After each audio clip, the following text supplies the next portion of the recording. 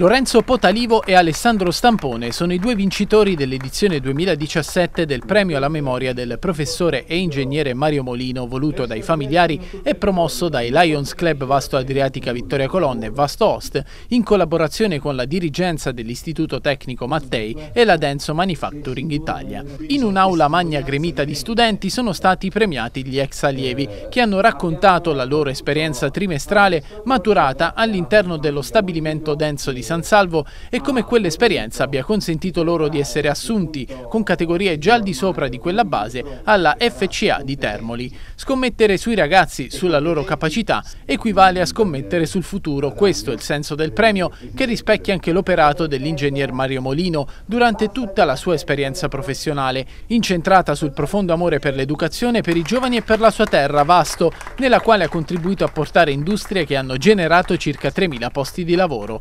città che gli ha dedicato una targa, intitolandogli il laboratorio di elettrotecnica dell'Istituto Mattei, lì dove ha insegnato a tanti studenti come avere successo nella propria professione.